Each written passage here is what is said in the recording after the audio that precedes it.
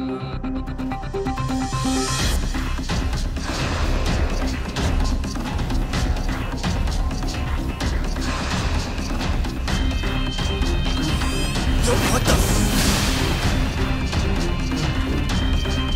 let's go.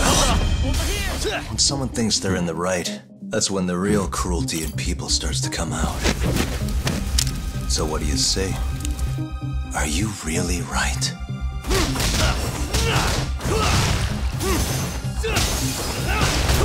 I'm not turning back. The risk doesn't matter anymore.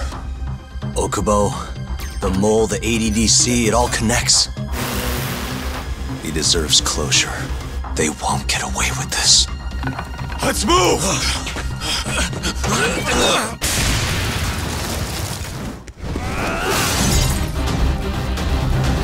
Okubo-kun and Ayame are depending on me.